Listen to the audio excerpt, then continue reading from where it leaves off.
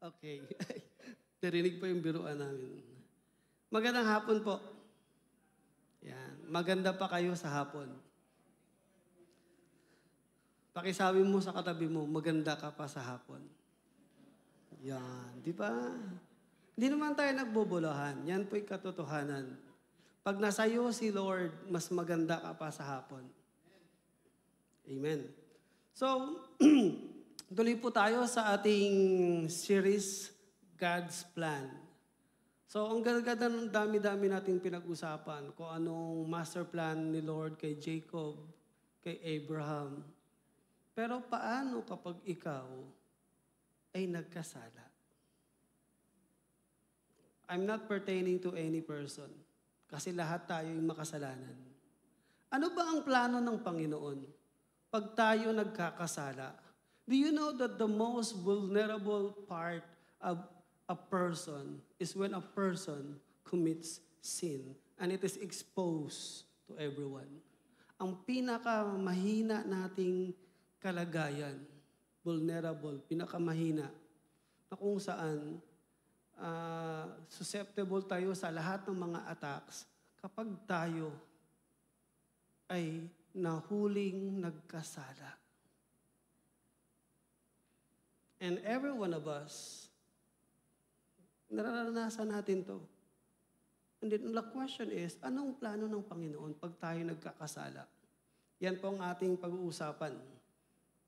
Yan. So ang ating main idea, ito po ay we're going to tackle the story of Adam and Eve.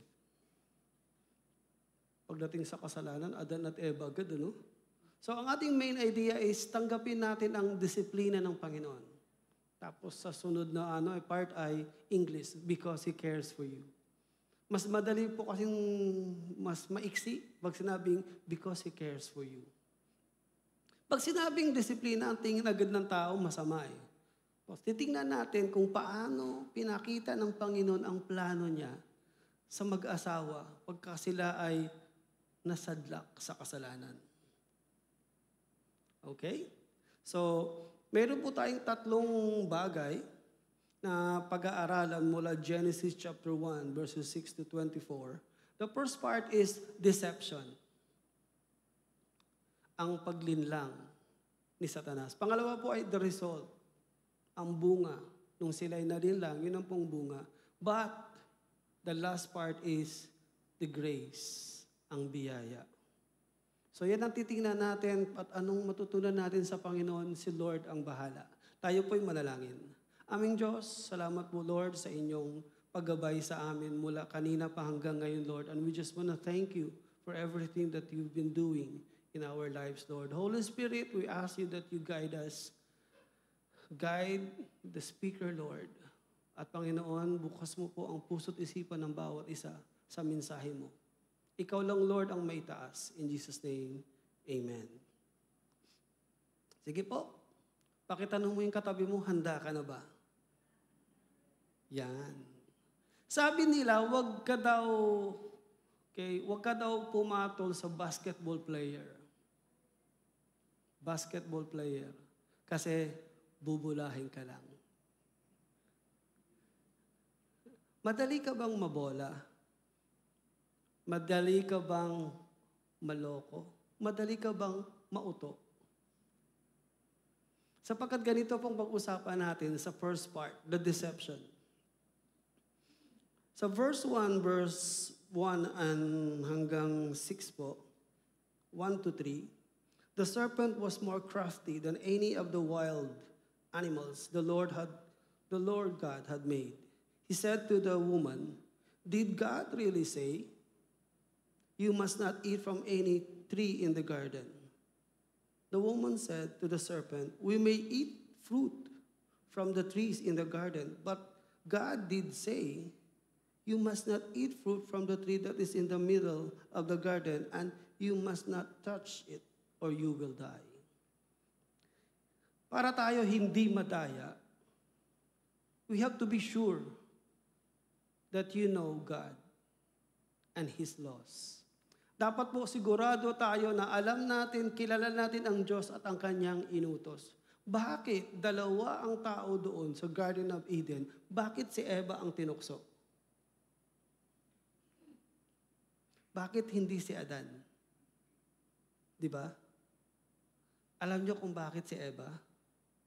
Kasi si Eva, the, the command of the Lord was given to Adam. And Adam gave, uh, translate o binigay kay Eva. So, second-hand information ang nakuha ni Eva. At at that time, alam nyo si Satan, ang una niyang papasukin ay yung weakness mo. The weakest link at that time ay si Eva. Alam nyo, may mga sitwasyon tayo na mahina tayo, napapansin ng kalaban yon. At he will focus on your weakness para ikaw ay madaling bumigay. So, at that time, para napapansin ni Satanas na si Eva madaling bulahin. I-dribble, tapos three points, pasok. So, ang, ang sabi niya, the question is, did God really say? Inaano niya eh, uh, tinitest niya kung si Eva alam niya ang batas. The answer is, yes, God did say. Kaya lang tingnan niyo po yung sinabi niya. You must not eat the tree in the middle of the garden and you must not touch it. Sa so, uh, chapter 2, verse 17 and 18, ang sabi ng Panginoon, pag kinain nyo yung the tree of the knowledge of good and evil, the fruit, you will surely die. Wala pong kasamang touch. See, nakita nyo, si Eva may sarili na siyang interpretation of the law. Okay, ilan po ba ang utos ng Garden of Eden? Ano, ilan ang utos ng Panginoon? Sampo ba? Ilan po? Isa lang. One simple command. And in the Garden of Eden, they don't need anything. Alam mo, everything is provided for. Pagkain, kuha ka lang. Tapos, uh, kung malungkot ka, nandiyan yung mga hayop, mga kahayupan, makakita mo yung mga kagandahan nila. Nakaka-relax po. Alam niyo po, sino dito ang mayroong pet? Aso. Cat. Yan. Alam niyo po ba pagkapagod ka, maliban doon sa magandang misis na masasalubong mo, pag nakita mo yung shih tzu, yung mga nakaka, ano, sumasalubong sila kahit wala kang pasalubong. Di ba? Opo, sumasalubong sila kahit wala kang dalang pasalubong at excited pa silang makita ka. Nakakawala po ng ano, nakakawala ng stress. Kaya kung meron po kayong pet sa bahay, talaga nakakaalis ng stress. Lalo na pagka ano, sweldo mo, ang unang sasalubong sa'yo hindi yung pet, yung asawa mo. yes. Nakaganon na yon, akin na. So we have to know, we have to know who God is and what is His will or kanyang inutos. Ang problema kay, ano, kay Eva, hindi niya kabisado yung verse. Hindi niya kabisado yung utos ng Panginoon. Dinagdagan niya pa na huwag bawal daw hawakan. Eh wala sa batas yun. Wala sa sinabi ni Lord yun. Kaya alam ng demonyo na, na at that time, Mahina si Eva. So sabi niya, you will not certainly die. The second point is, the sub-point of the first point is, be careful with Satan's lies. Mga babae, sasabihin na, be careful with my heart. Hindi po yun ang pinakamahalaga. Be careful with Satan's lies. The serpent said to the woman, For God knows that when you eat from it, your eyes will be open and you will be like God, knowing good and evil. Do you know that God doesn't want us to know good and evil? In the garden, God doesn't want us to know good and evil. di sana noon pa, pinaalam na ni Lord yung good and evil. We don't need to know good and evil. We only need to know God. Ang kailangan lang nating makilala doon sa Garden of Eden, sa buhay natin, is not good and evil. It's knowing God. And if you know God personally, you will know what is good and you will do what is good. After knowing good and evil, what happened? Sige nga, gumanda ba ang buhay natin after we knew good and evil? Hindi. Maraming mga tao alam nila yung good and evil, but they're not following good, the, the good things. Punta tayo sa government natin. Alam nila ang good and evil, but are they going doing what is good? Aral sila, graduate sila, matataas na sa ano, university. They're good at it. Matatalino. Pagdating sa up- nakaupo na, they knew what is good and evil. Are they doing what is good? No. Hindi natin kailangan ang good and evil. Ang kailangan natin si Lord. And if we come to know God, we come to know what is good, perfect will of God. And that is what we need. Kaya hindi sinabi ni Lord yung good and evil. Pero tingnan natin dito yung lies ni Satan. You will not cer- certainly die. Because God knows that when you eat from it, your eyes will be open. You will be like God. Pinangarap ba ni Eva at Adan na maging Diyos? Hindi naman, di ba? Pero itong si Satanas, nilagay niya sa puso ni Eva to desire to become God. Tingnan niyo yung kasinungalingan ng Diablo. Ang saya-saya ng buhay ni Eva at Adan. Wala silang pakialam kung anong mangyayari sa future. Nagsasaya lang sila sa garden. Pero here comes the person who talks about truth daw, talks about God. Eh hindi will verse si ano, si Eva. Dito siya na dito siya nawalan ng grasp about God.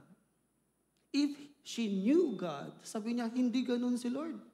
Alam niyo ba na ang tinuturo ni, ng demonyo dito that God is unfair.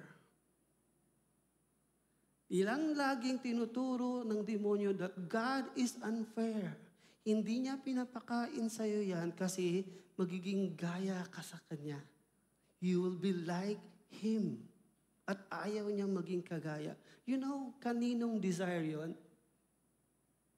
It's Satan's desire that he is passing to Eve.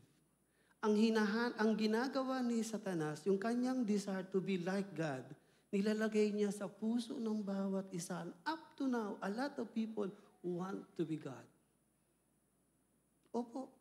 They want to be famous. They want to be the greatest of all. Pero yun ba talaga ang mahalaga? You want to be the greatest champion for now. After how many years, hindi ka na champion kasi matatalo ka eh. The truth of the matter is you can truth of the matter is you cannot be God all the time. We can never be God. Satan could never be God. Never. Only there is only one God. Ah, bakit kailangan mong lampasan ang Diyos?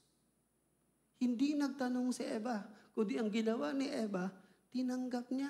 I also want to become God. Be careful. Kasi maraming kasinungalingan ang pinapasok ng demonyo sa utak natin. Ito pa, alam na nating sinungaling ang demonyo. Naniniwala ka pa. Uulitin ko, alam mo nang sinungaling ang Diablo, naniniwala ka pa. Eh, anong tawag sa'yo? Uto-uto. Opo, that's the truth. Alam natin sinungaling ang Diablo, naniniwala tayo sa kanya. Hindi uto-uto tayo. Kapari lang natin si Eva, uto-uto tayo. We have to know God. And if we know God, we will not listen to Satan's lies. Alam niyo ba yung mga teller, bank teller? Ang ginagawa sa kanila, they have been exposed to the true currency, yung paper. Kasi ang kadamihang pinipeke, papel eh. Yung coins, wala silang pakialam sa coins. Ini-expose sila sa katotohanan. Paghawak pala ng papel, mm, ito tunay, ito peke. You know why? Because the truth will set you free. Malalaman mo ang peke kapag alam mo yung totoo.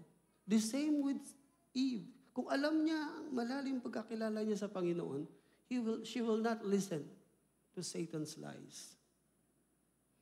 And the last point is we are tempted by our desire.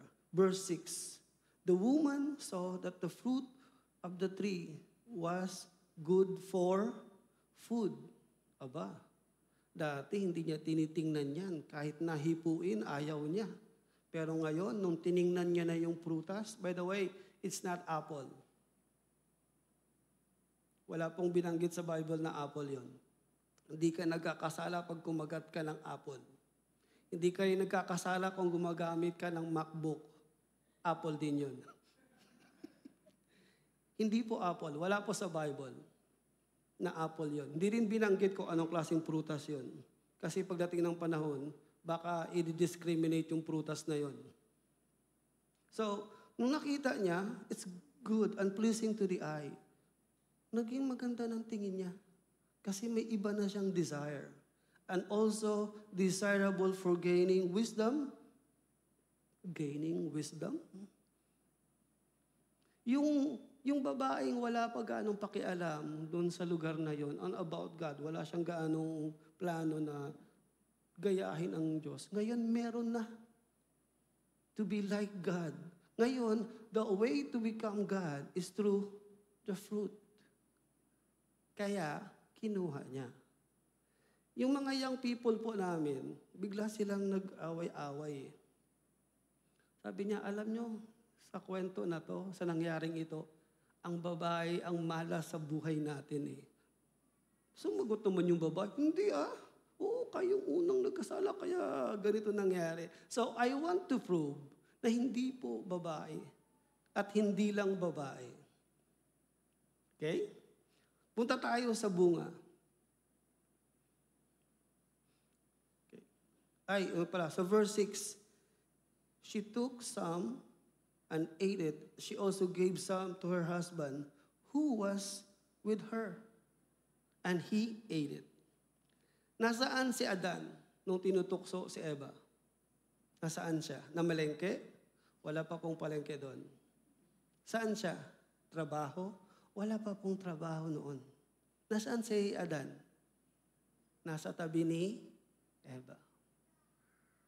Satan knew the way to Adam's heart is through Eve. Alam niya na kapag nakuha niya si Eva, makukuha niya rin si Adan.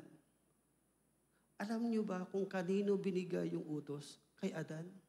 At si Adan po ang may responsibilidad na ipatupad yung utos na yon kahit sa sarili niyang asawa. Pero nagsalita ba si Adan? Nagsabi ba siya, Hoy, sinabihan niya ba yung asawa niya? He was there and he did not say something. Hindi man lang niya pinalo ang kamay ni Eva. Sweetheart, bawal yan eh. Di niya pinitik. Di ba, sabi ni Lord, pag kinagat mo to, mamamatay tayo. He doesn't care. At tapos, nung kumuha pa si Eva, binigay niya kay Adan. Now, tanungin kita, bakit si Eva kailangan tuksuin? Si Adan, hindi. Tinukso ba si Adan? Si Satanas made a lot of effort para ma bumigay si Eva. Si Adan, tinukso ba? Hindi. Hindi na kailangan tuksoin. Who is weaker? Who did not stand for his responsibility? At nung dumating si Lord, sino ang una niyang hinanap? Si Eva o si Adan? si Adan. Bakit?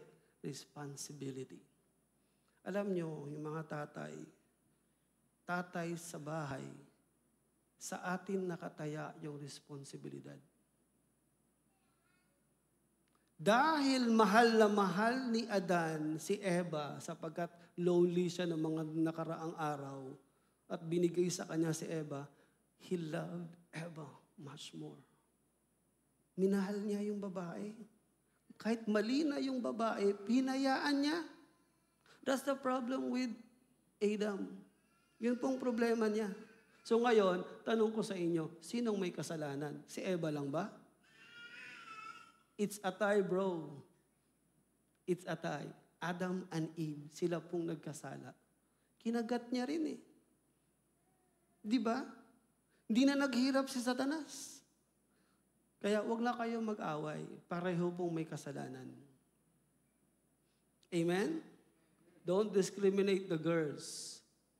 Hindi kumpleto tayo pag wala ang babae. Di ba? Ang babae po ay nilikha ni Lord nung nakita niya, it's not good for man to be alone. Kaya dapat lagi nating kasama ang mga mahal natin sa buhay. Kinuha sa tadyang. Remember ah, partner, katuwang, hindi katulong. Ang asawang babae ay hindi katulong. Sila po ay partner. At kinuha sa tadyang para hindi tadyakan, para maging body, by your side all the time. Yun po ang purpose noon. Amen? Mm, no?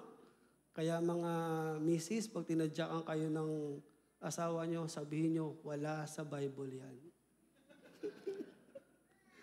okay, now let's go to the result. Verse 7, Then the eyes of both of them were opened, and they realized they were naked. So they sewed uh, fig leaves together and made coverings for themselves. But at the point, at an instant, bigla silang nahiya. Sabi lang, uy, nakahubad pala tayo. They were nude and naked before. Di ba? Dati na po silang hubot-hubad. Kinasal sila ng Panginoon chapter 2, hubot-hubad sila. Hindi naman nila napansin yon. Mag-asawa na po si Eva at Adan dito. The last part of chapter 2, pinesenta ng Panginoon si Eva. At sabi ni, ano, ni Adan, wow, flesh of my flesh, bone of my bones. Kaya naman po, gustong-gusto ni, ni Adan yun. But they, they never cared. Ngayon, nung nagkasala sila, nagkaroon po ng identity, altered identity. An altered perception of their physical body.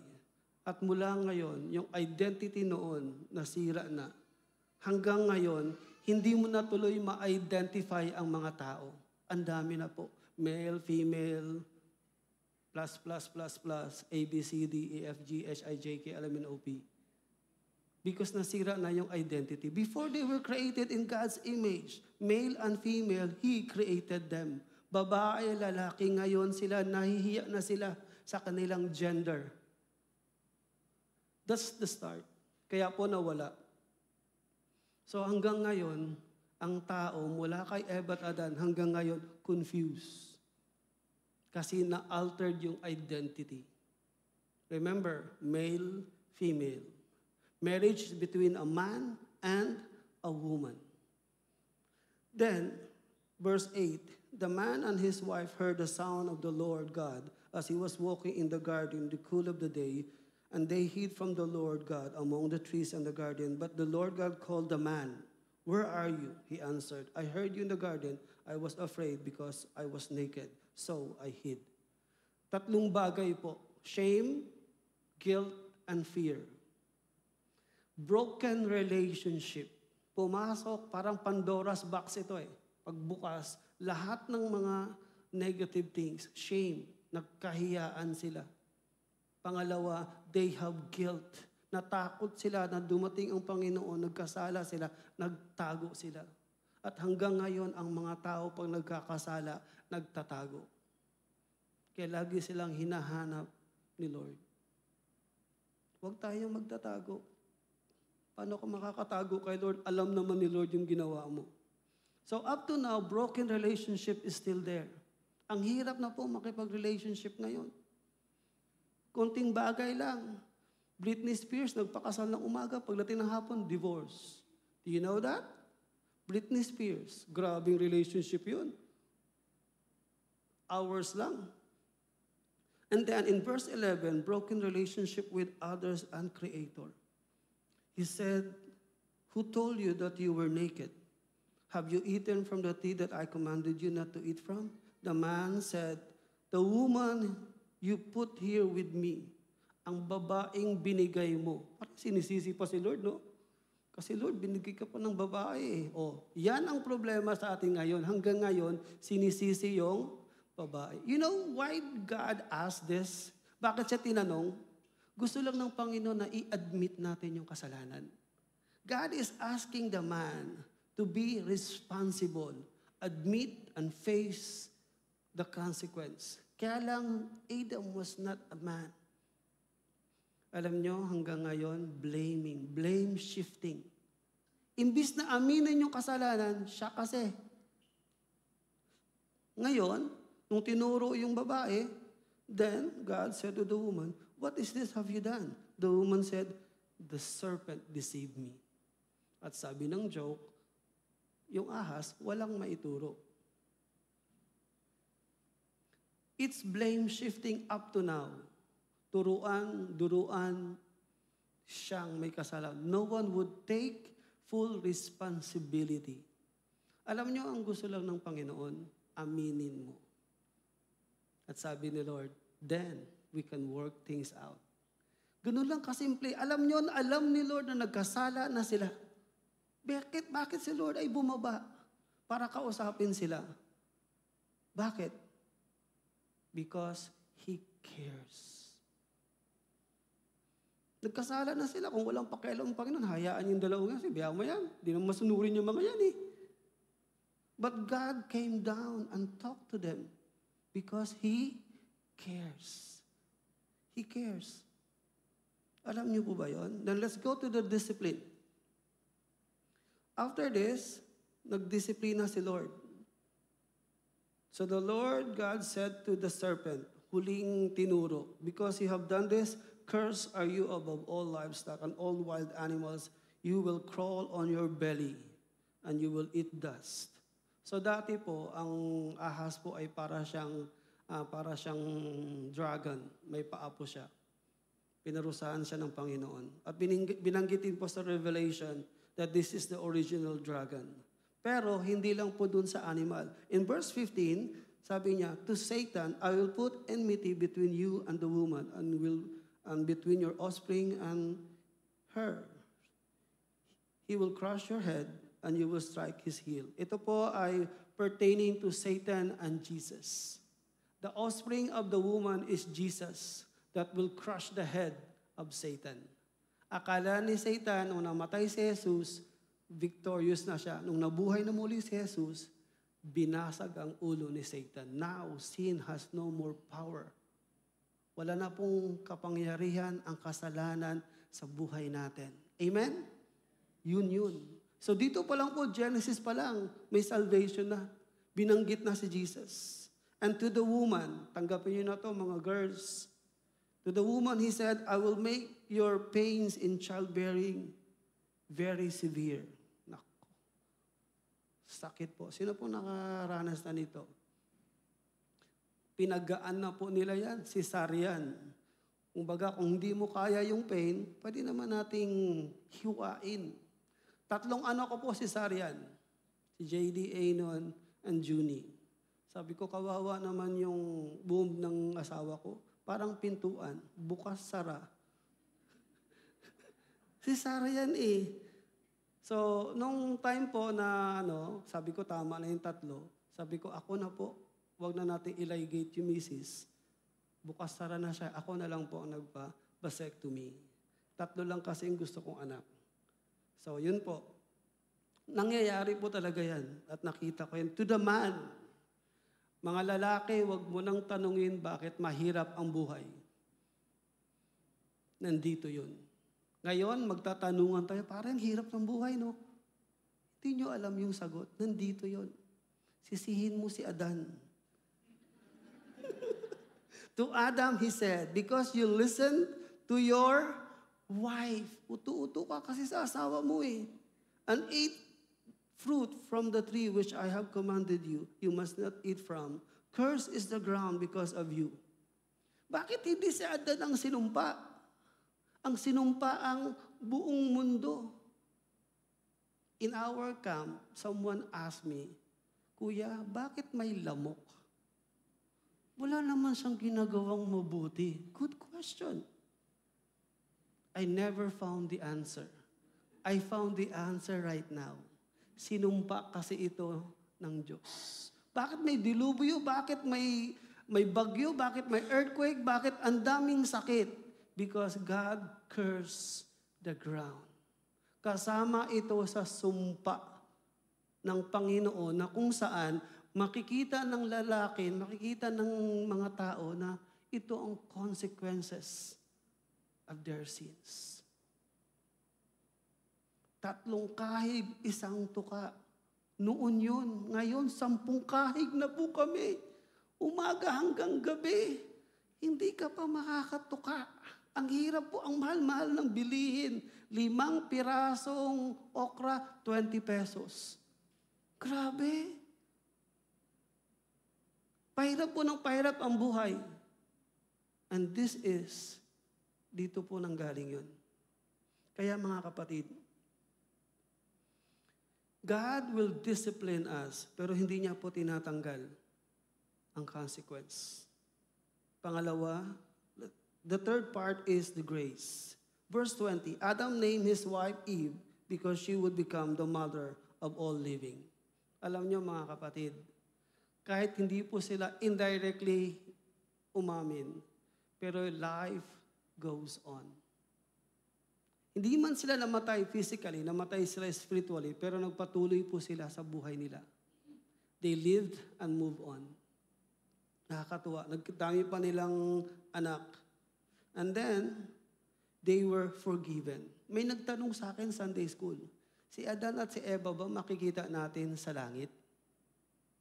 Sabi po sa verse 21, The Lord God made garments of skin for Adam and his wife and clothed them. Alam niyo ba yung ano na yon, ang verse na yon? Ito po yung verse ng pagpapatawad ng Panginoon.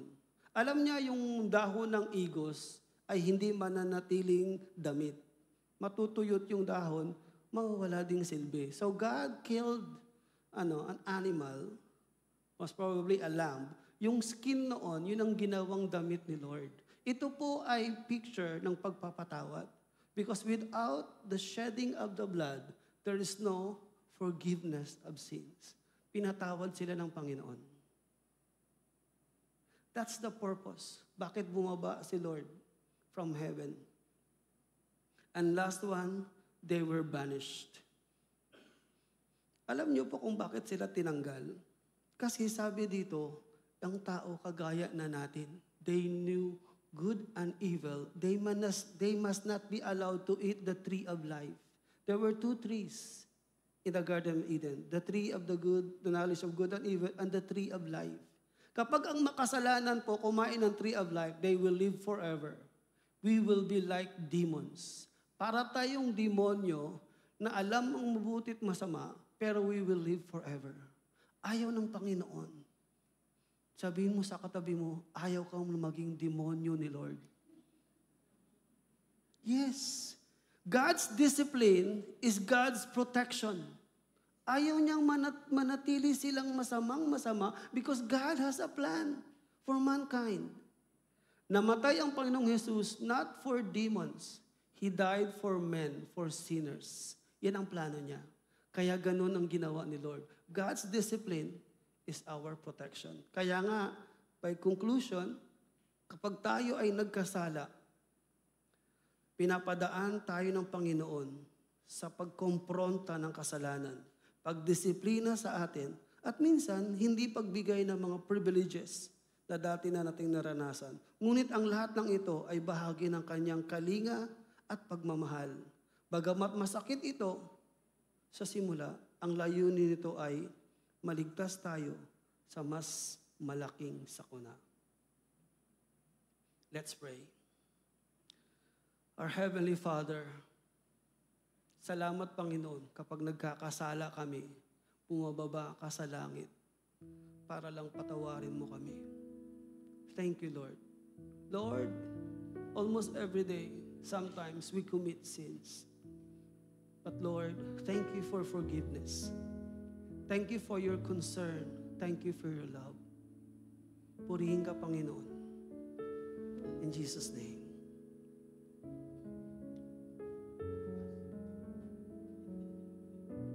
Sa loob ng dalawang minuto, pahintulutan nating tumahimik ang ating mga puso at mag-reflect sa mga sumusunod na tanong.